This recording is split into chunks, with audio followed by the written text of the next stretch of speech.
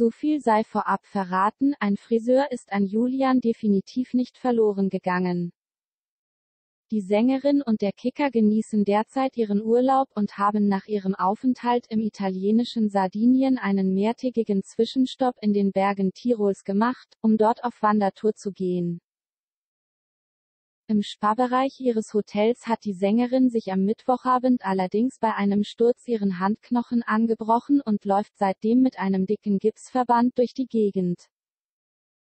Weil es ausgerechnet ihre rechte Hand getroffen hat, ist die Kölnerin aktuell nun ziemlich eingeschränkt. Glücklicherweise steht ihr Ehemann Julian jedoch stets zur Seite und hilft, wo er kann. So half der werdende Vater seiner Frau am Donnerstagmorgen auch beim Frisieren ihrer Haare und tat sein Bestes, die Mähne der 28-Jährigen in den Griff zu kriegen.